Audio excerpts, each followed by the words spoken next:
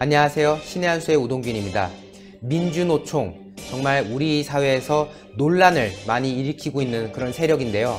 지난번에는 국회에서 담장을 뜯는 그런 만행을 저지르더니 이번엔 또 경찰들을 폭행했다고 해가지고 큰 충격을 주고 있습니다. 그래서 이와 관련된 소식 우리 박창훈 정치부장님과 함께 이야기 나누도록 하겠습니다. 네, 안녕하세요. 네, 안녕하세요. 네, 민주노총이 정말 사고뭉치라고밖에 할 말이 없는데요. 네. 간략하게 좀 소개를 해주시죠. 네. 불법 시위를 통해서 대한민국의 법치를 우롱한 민주노총이 또다시 무차별 폭행을 저질렀습니다. 어, 민주노총 산하의 금속노조 소속인 현대중공업과 대우조선해양의 소속 노조원 천여 명이 어제였죠. 22일 오후에 현대중공업 서울 사무소 앞에서 두 회사의 합병을 반대하는 집회를 가졌습니다. 근데 뭐 여기까지는 괜찮은데 집회가 이제 끝나갈 즈음에 일부 노조원들이 이제 폴리스 라인을 넘어서 서울 사무소 내부로 진입하려고 시도하는 과정에서 경찰관 두 명이 치아가 부러지고요. 그리고 뭐 손목이 골절되는 분도 있고 약 10여 명의 경찰이 부상을 당했습니다. 예, 그래서 이제 경찰이 밝힌 바에 따르면 그 진입을 시도하는 약 20여 분간 거의 무법천지였다고 그럽니다. 그래서 일단 제가 자료 화면으로 어제 이제 있었던 사진들을 좀 보여드리면서 설명을 해드리도록 하겠습니다. 네, 한번 화면 보시죠. 네. 여기 보시죠. 지금 멱살을 잡고 있지 않습니까? 경찰관의 멱살을. 그 다음 사진은 이 경찰 방패를 뺏어서 아이고, 예, 여기 보면 이제 확대를 해서 보여드리면 지가 경찰인 줄 알았네요. 예, 지금 안경을 맞아서 이렇게 아이고, 안경이 아이고. 떨어지는 이런 모습도 보이고요. 그리고 다음 사진을 보여드리면 이 폴리스 라인을 뜯고 밀고 들어가기 위해서 이 불법적인 행동을 하는 것을 볼 수 있는데요. 여기 보시면은 이렇게 경찰관을 밀치는 행위도 있고요. 어, 네. 그리고 여기 보면 이 방패를 뺏기 위해서 만행을 저지르고 있는 이런 상황이 목격이 됐습니다. 또한 경찰 방패를 뺏기 위해서 이런 식으로 여기 뭐 절도죄로 봐야 되나요? 이거 무법천지네, 예. 이거. 그리고 그 다음 사진 보시면 안쪽에 가운데 뒤쪽의 사진을 보시면 이렇게 경찰관을 끌어내기 어이구. 위해서 예, 이런 행동을 보이는 게 예, 사진이 찍혔고요. 여기도 이제 폴리스 라인을 무너뜨리기 위해서 경찰관의 경찰관과 이 실랑이를 벌이는 과정에서 또 이제 방패를 뺏으려는 이런 모습도 보이고요. 그리고 이 사진 보시면 여기 이렇게 보시죠. 폴리스 라인이라고 되어 있는 이 난간을 집, 집어서 이게 던질라 그러는 건지 모르겠는데 어쨌든 경찰의 손은 아닌 것 같아요. 그렇죠. 왼쪽 밑에 있는 부- 부분이. 네. 예, 이런 식으로 말도 안 되는 이런 행동을 좀 보였는데요. 그 이제 이 분들에 대해서 이제 경찰의 발표에 따르면 12명이 지금 어, 서울 성북경찰서, 마포경찰서, 그리고 구로경찰서 등으로 이제 분산돼서 연행이 됐는데 이 간단한 조사만 끝나고 다 훈방 조치했다고 합니다. 아, 또 훈방했습니까? 네, 그래서 이게 이런 그 국가 공권력에 대한 이런 심각한 도전이 이게 참 어제 오늘의 얘기는 아닌데요. 아까 앞에서도 말씀하셨지만 4월 3일에 국회에서 민노총이 시위하다가 담장을 무너뜨리고 경찰과 기자를 폭행했는데 그 사람들이 되게 웃긴 건 이 조사받은 경찰서 정문 앞에서 주먹을 쥔 채 팔을 치켜 세워들고 이 자기들이 마치 잘못한 게 하나도 없다 이런 식으로 사진을 찍어서 페이스북에 올린 것도 이 확인이 됐고요. 이들의 만행은 이뿐만이 아니었습니다. 네. 예, 지난 2월 27일이죠. 자유한국당 전당대회를 조직적으로 방해했던 정- 정황도들이 드러나서 이 민주주의의 파괴를 위한 선봉대가 아니냐 어, 이런 평가도 있는 상황입니다. 이들의 이런 행동 자체는 지금 뭐 단순하게 뭐 국회 앞이나 뭐 일반 기업 이런 것뿐만 아니라 뭐 대법원에서도 농성을 벌였고 대검찰청에서도 농성을 벌였죠. 그리고 심지어 작년 11월이었습니다. 노조원들이 회사 간부를 감금 폭행하면서 12주의 중상을 입게 한 사건 여러분 기록하실 텐데요. 참 이런 걸 보면 이들이 노조원인지 뭐 조직폭력배인지 참 분간이 안 되는 상황이고요. 문재인 정권이 출범한 이후에 이 민노총의 이런 불법적인 행위를 눈 감아주는 건 아닌지 예, 의심스러운 게 작년 11월에 있었던 회사 간부 폭행 사건에는 경찰에 여러 번 신고를 했습니다. 근데 경찰관들이 와서 가만히 그냥 보고 있었죠. 예, 아무것도 안 했습니다. 예, 그 당시에 보면 그런 얘기를 했답니다, 경찰이. 시위대에서 부상자라도 발생하면 소송당할 게 뻔하니까 차라리 무능한 경찰로 욕먹는 게 낫다. 뭐 일선 경찰관이 시위대에 소송당하면 뭐 총리나 장관이 뭐 책임져 줄 것도 아닌데 뭐 우리가 어떻게 하냐. 뭐 이런 식으로 이제 고충이 있다. 이렇게 얘기를 했는데 이러한 부분들이 정권 차원에서 너무 민노총의 과격 시위를 이 놔두는 게이 일상화가 되다 보니까 이런 경찰관들도 지금 뭐 손을 놓고 있는 상황이고요. 거기다가 작년 10월에는 민노총 소속 시위대가 김천 시상실도 점거를 했었거든요.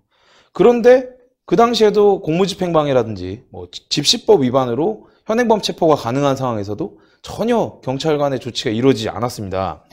그래서 제가 이제 이거에 대해서 조사를 좀 해봤거든요. 네. 두 크게는 두 가지 정도의 이유가 있었습니다. 네. 첫 번째로 이제 법원에서 문재인 정권 들어서요 시위대 집회와 시위의 자유에 관한 권한을 되게 폭넓게 인정하는 상황이 발생을 했는데요. 지난해 11월 20일에 대구지법에서 2018년 초 대구지검 청사를 불법 점거하고 농성을 벌인 민노총 조합원 10명에 대해서 무죄를 선고했습니다. 음. 그리고 작년 7월에는 서울중앙지방법원에서 정부 청사 앞에 설치된 그 불법 농성 천막을 이제 철거하려는 경찰관을 때린 혐의로 어, 기소된 시위대 두 명에게 무죄를 선고하기도 했습니다. 하지만 이제 경찰관이 이 불법 시위대에 대해서 진압을 하거나 제지를 할 경우에 유죄 판결 받는 경우가 늘어나고 있거든요.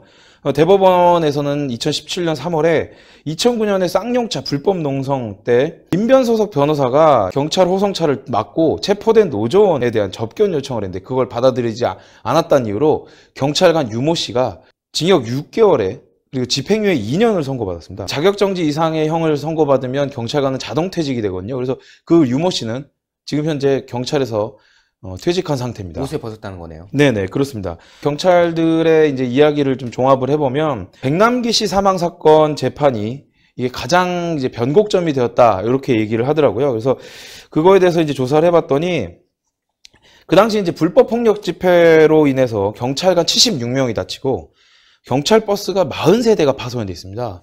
그런데도 불구하고 이제 문재인 정권 들어서 2017년 10월에 업무상 과실치사 혐의로 구은수 당시 서울경찰청장과 신윤균 서울청 기동단장 그리고 물대포 살수요원 두 명을 기소했는데요. 1심 재판부는 기동단장과 살수요원 두 명에게 유죄를 선고했습니다.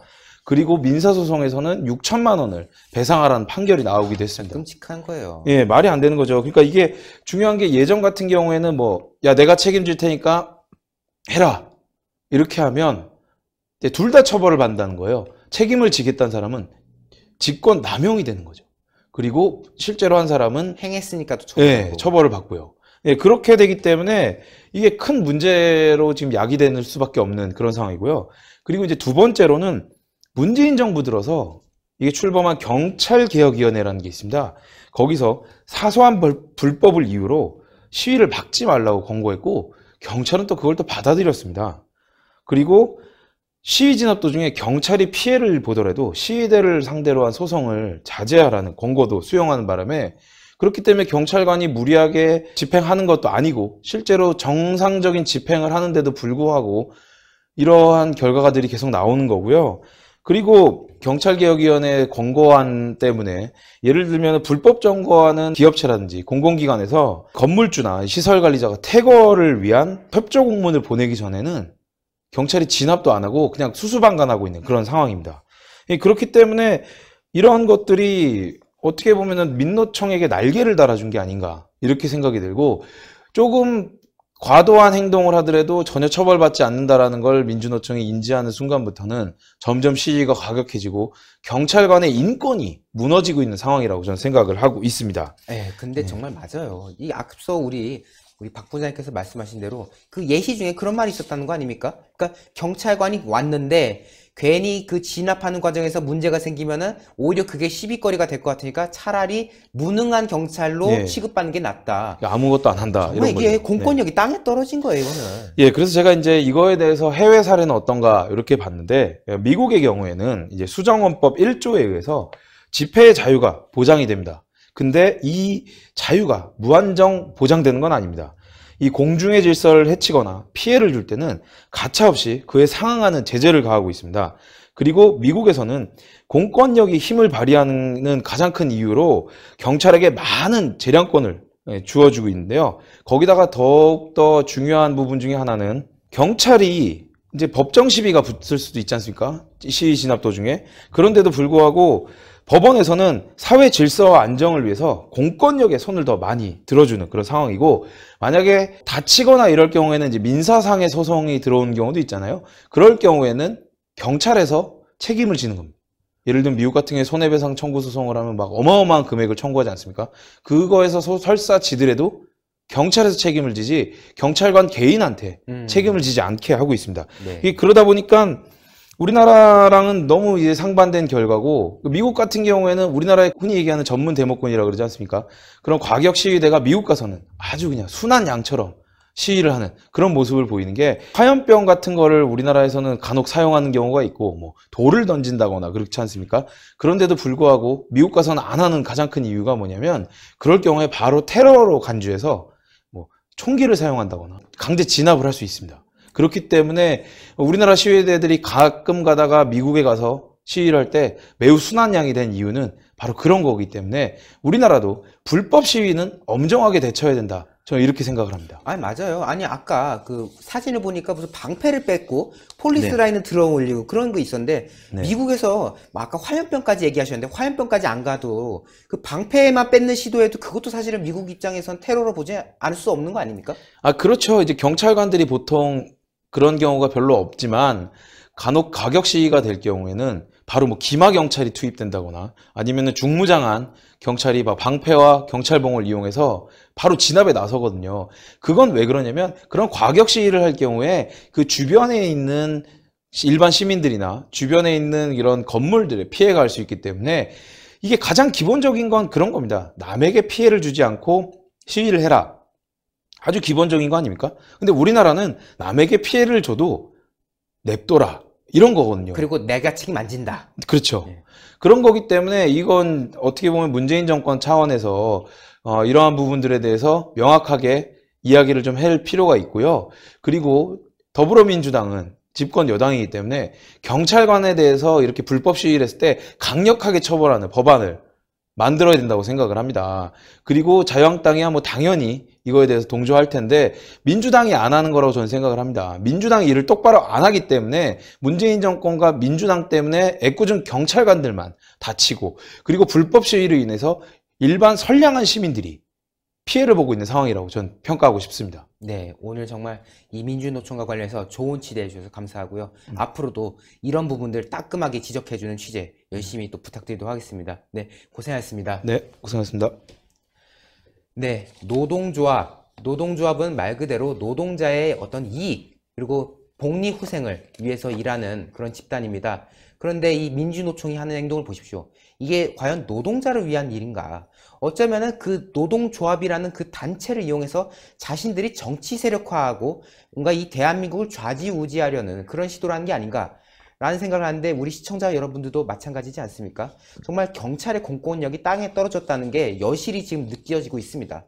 국회에 담장을 뜯어도 경찰의 이 뭐 치아를 부러뜨리거나 아니면 골절을 일으켜도 훈방 조치되는 풀려나는 이런 어이없는 일이 지금 대한민국에서 벌어지고 있다는 것 여러분들 똑똑히 지켜보셔서 내년에 총선에서 반드시 이 집권 세력들을 몰아내야 되겠습니다. 네, 방송 여기까지 하겠고요. 동그랗게 올라오는 구독 버튼 눌러주시고 추천 버튼 눌러주시고 댓글로 많은 응원과 성원 부탁드리겠습니다. 여러분 대단히 감사합니다.